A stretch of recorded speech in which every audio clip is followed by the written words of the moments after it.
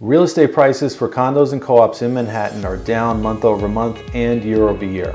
For how much and more, stay tuned for the latest. Hey everyone, it's Justin again from Braithwaite Realty. Let's start where we usually do with prices. In Manhattan, the median sales price, condos and co-ops is down to 995,000 from 1,002,000 last month and year over year sales prices are down about 5%. Next, how much are sellers discounting asking prices? The sales price to list price ratio is a bit lower this month at 93.3% versus 93.9% last month. In other words, sellers are getting a bit less this month relative to asking price compared to last month.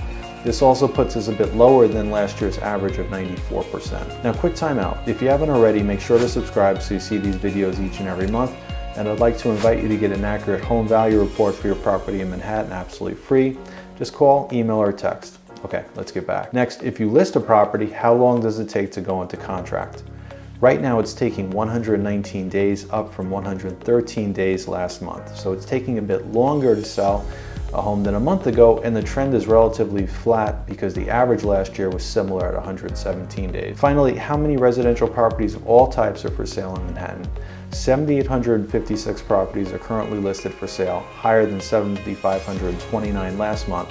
So this month there's more inventory, which is a positive for buyers, but we're still below last year's average of 8,041 homes on the market. Okay, so let's recap how the Manhattan real estate market performed this month. So we have lower prices month over month and about 5% lower year over year.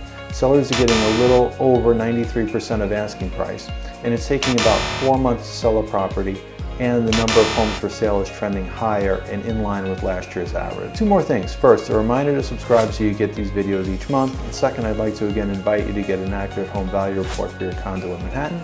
So call, email, or text and we'll get that done for you. And if you're looking to buy a property, just reach out. We'd love to help. So until next month, thank you for watching.